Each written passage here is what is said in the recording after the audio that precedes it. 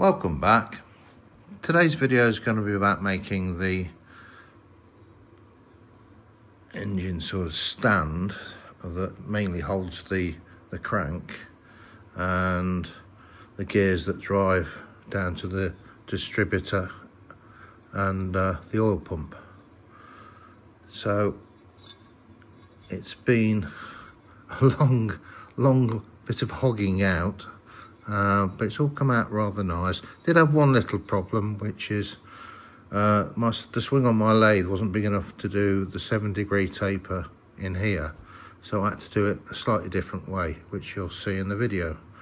Um, other than that, it's, uh, it's fitted very nicely. The taper's working better than I would ever have imagined, but it certainly is tight on there. There's a nut then goes on here. To then tighten that up further to the taper. Like so. And then there's these two little nuts, uh, which, as there's another stand,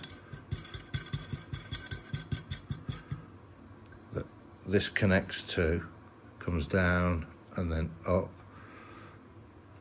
This just ensures the clamping.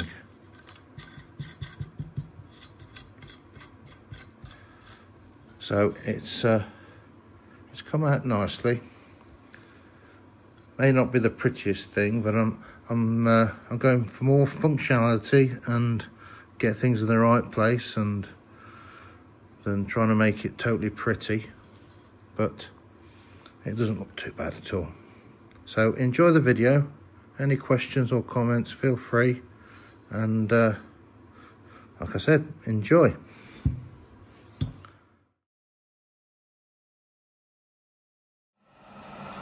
Okay, this thick billet of aluminium is going to be for the engine mount. I have drilled and reamed two holes in the A and B, half inch, drilled two holes to hold on to the ignition brush assembly uh, and put this slot in as well.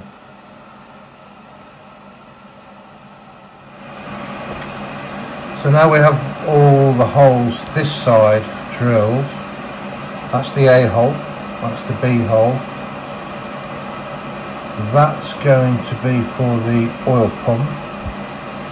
These six holes round here uh, would be for the points if I use points. Um, I'm hoping I can get some electronic ignition for this, but if not, I've got the holes drilled already, and these are the standoff holes. Uh, I think go against the actual stand for the whole engine. So what I'm going to do now is flip this over and put it on, sorry, I'm not going to flip it over. I'm going to put this as it is on the rotary table. I'm going to be putting a boss in here, which I will film for you.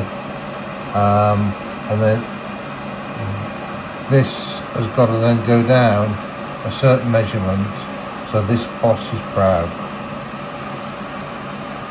Complicated little part.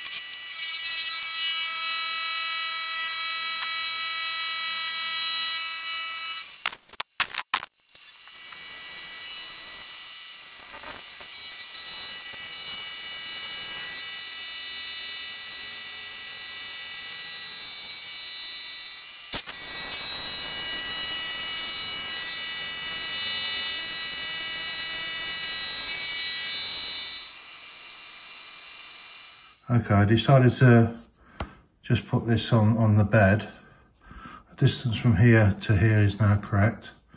And I wanted to just double check and bore this around uh, concentric to that hole there.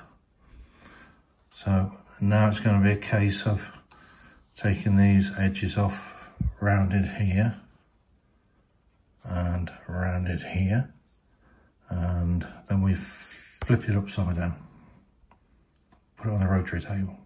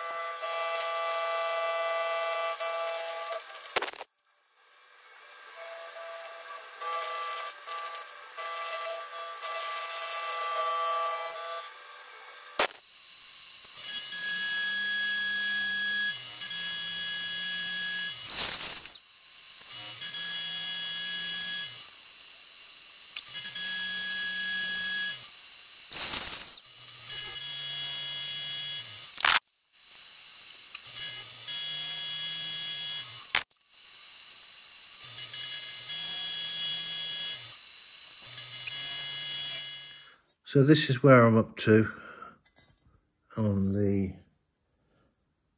sort of engine mount. I've got the holster drill around here now. This has got to be bored out to three quarters of an inch. Then there's a hole drilled in here that goes, this actually mounts onto the crankshaft itself with a seven degree taper. But it won't fit in my lathe. It won't fit on the faceplate. So what I've decided to do, which I think uh, there was a comment not so long ago, uh, is I'm going to have to make a slug that's got the taper in it, bore this out after all this work, he says. Uh, I have left this slightly oversized, so it will fit into that. So it'll have plenty of purchase on it. And uh, fall back on the good old Loctite. But I don't see it being a major problem other than I spent ages getting this right and getting this right. So it's took longer than I thought. Don't underestimate how much weight you take out of this. I think it's good two pins worth of swarf. But uh, anyway, I shall carry on. So what I've decided to do, um, if I'm going to have to plug it, I might as well give it a bit of a go, is I've got this dividing head set at three and a half degrees and I'm plunging from the back side and milling around there. This hole needs to go to a certain dimension to the crankshaft and the bottom hole obviously as well. Uh, I've done a test piece and it's worked quite well, I have to say.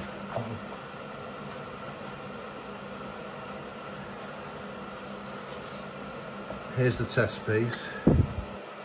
Large hole, small hole. And I thought, well, if I've got to put a plug in here, I might as well give it a go on here and see if it works. Um, I have also got to put a 30 degree chamfer on this edge here. It's very difficult to film. This is hit on the, the chamfer on there as well. So it's basically an end mill in there and just moving on the X until I reach this given dimension and hopefully it's all going to work out very well. I'll show you a bit of it machining. It's a bit weird to get this square. There we go. You'll see it going up and down.